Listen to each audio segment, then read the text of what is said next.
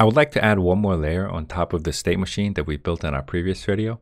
So if I click on the suited man, our character, and I look at idle and walking, the way this is set up, every single state would have to have their own script, which is fine for now. But most of the states are going to be a combination of character moving forward or jumping up or turning.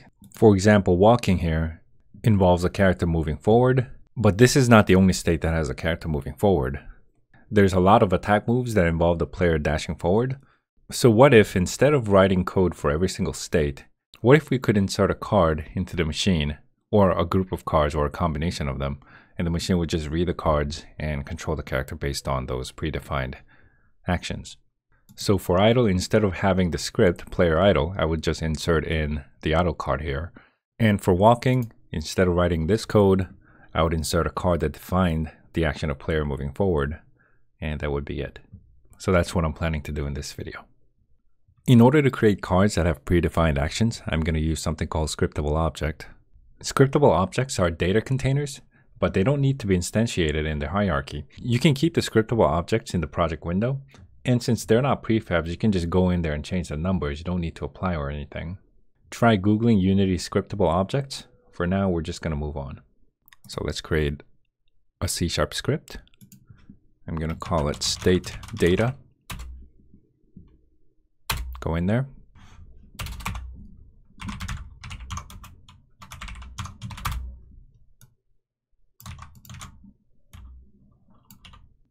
and the script is going to inherit from something called scriptable object. And we're going to turn this into an abstract class because this is going to be the base class for all our predefined actions. Every state is going to have a time of duration. And we also want each state to update based on the predefined cards. So I'm going to call it update ability. And it's going to take in the parameters of character state base as well as the animator. And let's find the character state base. Here it is. This script is going to have a list of the state data we just created. We'll call it list of ability data.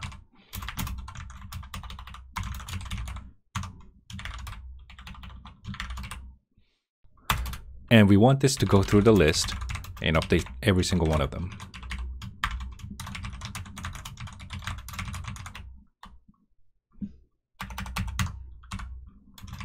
And it's going to take in the same parameters. For each state data in the list, go in there and simply update.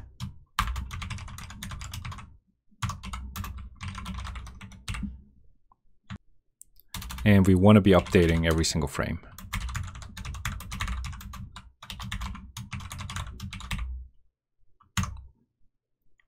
Remember this from our walk or idle script? Instead of writing code for every single one of them, we're now just gonna say update all. And we're done.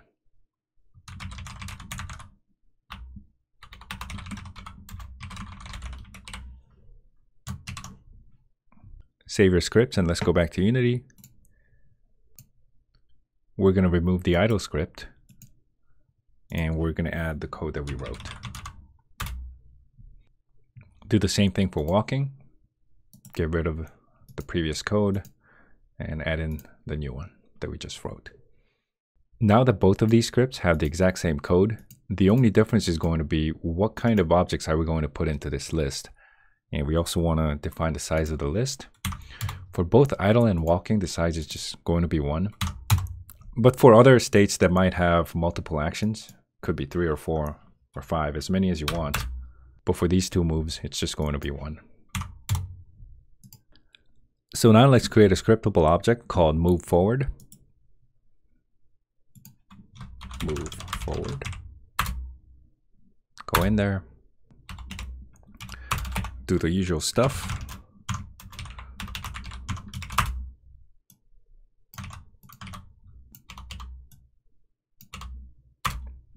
And this script is going to inherit from the state data that we created. And I want to be able to create this scriptable object from the project window. So I'm going to create an asset menu, call it new state. And I'm going to create a menu called Round Bear Games, ability data, move forward. I need to override the update ability. And this is where the action of moving forward is going to be defined. Save and let's go back to Unity. Now if I do a right click here and go to create, we have a Bear Games menu, ability data, and move forward. Click on this. We have a new scriptable object. Call it move forward. And here we can enter individual numbers for our public variables. Let's go to player walk. And we want to copy paste this definition into the move forward script in here. And I think I'm going to get the character control in the beginning of this function. Get it from the state base, get character control, animator, it's called C. We just copy paste it in there.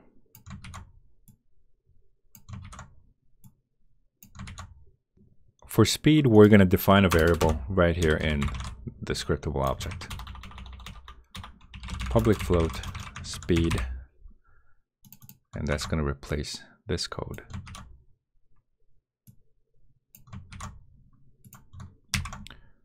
Save and let's go back. Click on the walking state. Now that move forward has been defined, all we have to do is drag this card into this section. Now let's do the same thing for idle. We're going to create a script called idle. That's going to define the action. And we do the same thing.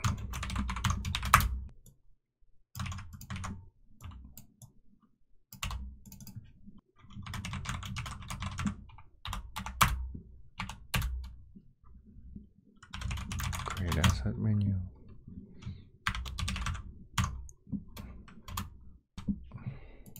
We're going to have the same folder location, except it's going to be called idle. We're also going to overwrite the update. Now let's look for the previous code and copy paste this in there. Player idle to just general idle. Save and let's go back to Unity. We can now create a scriptable object. Oops. Ability data. We can now create a scriptable object called idle. Name it idle and we're going to drag it into the idle state. So two different states with the exact same code, only with two different types of actions that are predefined. So now when we look at the player move forward script, we can put in the speed for this card. And later we'll be able to duplicate and create more, and we can call it enemy move forward and many more, and we can define all their speeds individually just by changing the scriptable objects.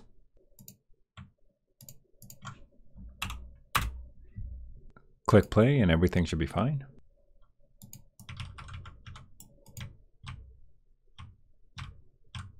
Okay. Now I'm going to delete player idle and player walk because we're not going to use those scripts anymore. And let me take a look at the character state base. The name is a little too long for me. We're also not inheriting from this code anymore. So let me just get rid of the word base go in there. And we also have to change the name here. Basically everywhere else. State base to just state.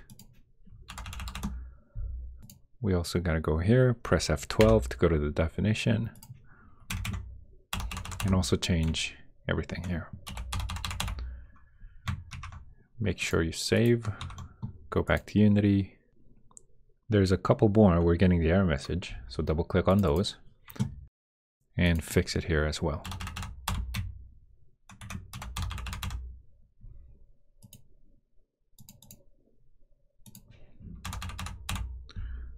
Once you fix everything, make sure you save. Let's go back to Unity, wait for the code to compile. Uh, we still have more. That should be it. Let's click play again. And I think everything should be fine. Let me take a look at the scene view. It's fine. Now let me organize some of the folders. Hmm.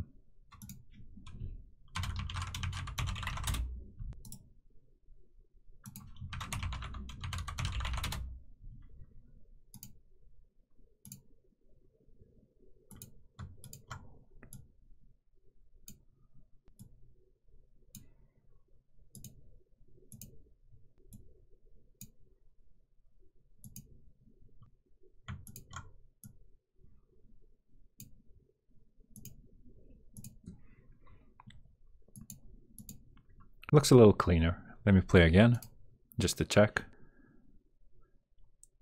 And that's it for today. Setting up structure in the beginning might be difficult, but once we get through this part, we'll be able to have some sort of a template that we can use and start creating characters, uh, things like players and enemies and AI, stuff like that in the future. Those stuff will be easier once this is all set up. So let me know if you have any questions or comments. Thanks for watching. I'll see you guys soon. Bye-bye.